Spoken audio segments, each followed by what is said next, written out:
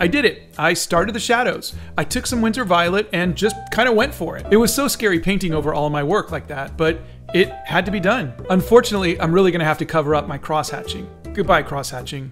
I'll miss you. In the arms of the angel. Okay, not bad for a first pass, but I think it needs to be more blue. Time for another pass.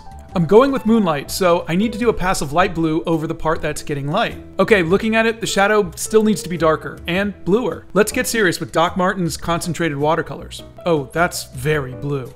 I hope I don't regret this. Oh, it's so, so blue. Okay, now the books are the same value as the back of the bookshelf. Time to darken that up too. Sorry, cross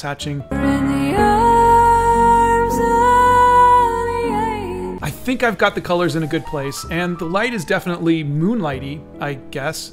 Still a lot more to go, and I may hate it when it's all done, but thanks for following along.